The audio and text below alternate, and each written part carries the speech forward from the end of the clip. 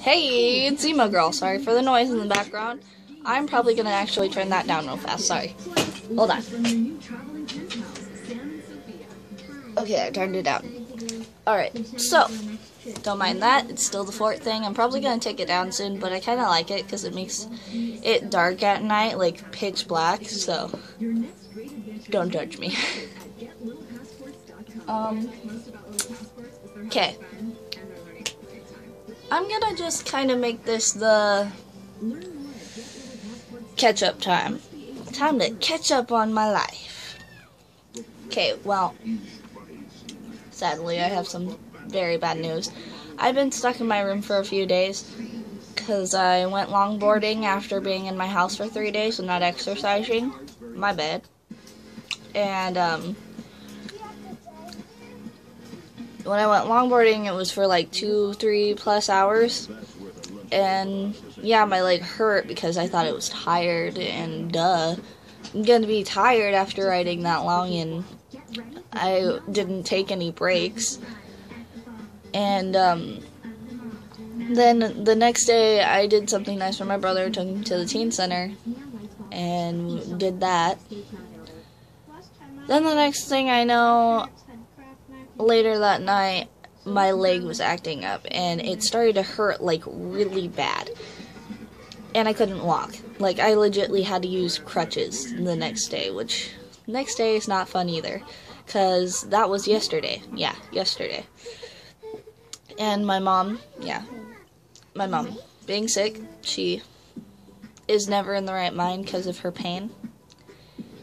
And she took extra um, pills, and it made her really drowsy, and it gave us all a scare. There was ambulance and police, and it was put down as over uh, an attempt of overdose because we didn't know how much she took. Well, till we counted, she took a big dose of what she's not really supposed to do. But then again, doctors say it's supposed to get her out of the pain but she took way too much. And she did try to hurt herself.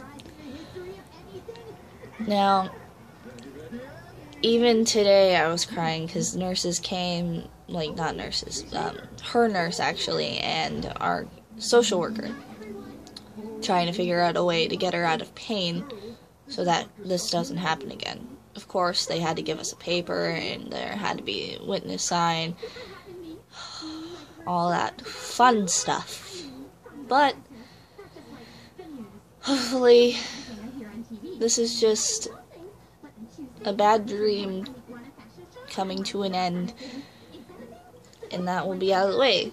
Um, Emo Oreo is back in town finally, and that's cool because now I can talk to him and he's trying to see if I can actually hang out with him because of the situations from the past videos that I was talking about. I like my makeup today. and, um, I just want to say welcome back to Emo Oreo, and, um, I finally can get off crutches today, hopefully. Um, I'll have to see. I'm probably to push myself again today, but that's because I'm not smart about that, and I love to ride my board, so... Love is pain, love is life. Da da da da. No, it's not. Anyways. Um... I'm just gonna try to have a good day because I haven't been lately.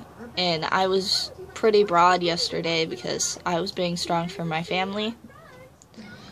Of course, I broke down like twice. Once yesterday, once today. But that's normal because I have to feel emotion too. I could comfort my grandma at first because I didn't fully know what was going on. I was resting my leg on with an ice pack and I heard screaming.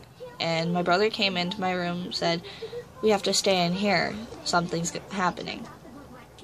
I don't know. My instincts to walk out. So I peek out my door, and I'm like, hey, what's going on? I try to ask my brother because no one was answering me.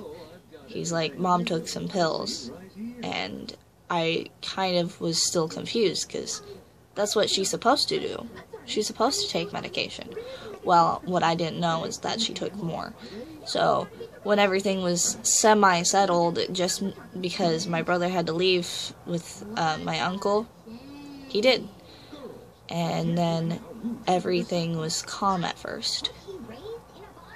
But then family started showing up, ambulance showed up, police showed up, fi- firefighters showed up.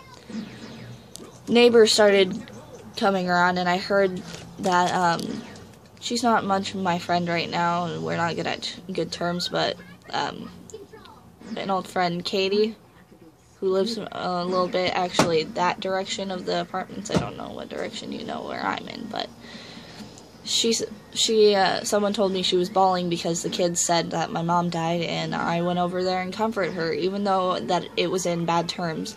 I'm not prepared to let someone think that something like that happened. I'm not.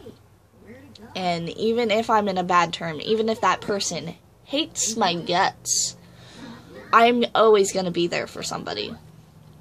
I'm I don't make great decisions, but I know in in a crisis I I can do what I can. God, I look horrible right now because I'm getting emotional. Um, so I comfort her and I told her my mom's gonna be fine. She's gonna wake up the next day. Just pray. And she woke up the next day and everything's okay. We're trying something different with her medication, which hopefully will help. And basically, right now, I'm preparing my mindset for the worst. And that's hard. And I look so cross eyed, it's not even funny. Um, sorry, guys. I legitimately don't like to cry. But this time has really, really gotten me down because usually I don't show my emotion. I don't. I'm really strong about that because I don't want to feel weak. But I know that that's going to help me right now. I'm trying to look at the camera, but I'm looking if there's tears rolling down my face, and I'm sorry. But yeah, that happened. And I don't want to seem like a drama queen, but that's how it is. That's life. Especially when you're kind of signed up by everybody else to deal with it. So that's what's been going on. Once again, I want to welcome uh, Emo Oreo back home, and hopefully we'll all have a good day. So I want to just tell everyone out there that be grateful for what you have, and I only ask one thing, since if not you're religious, just a few prayers for my mom, because whatever. Um, this is Emo Girl, and I'm out.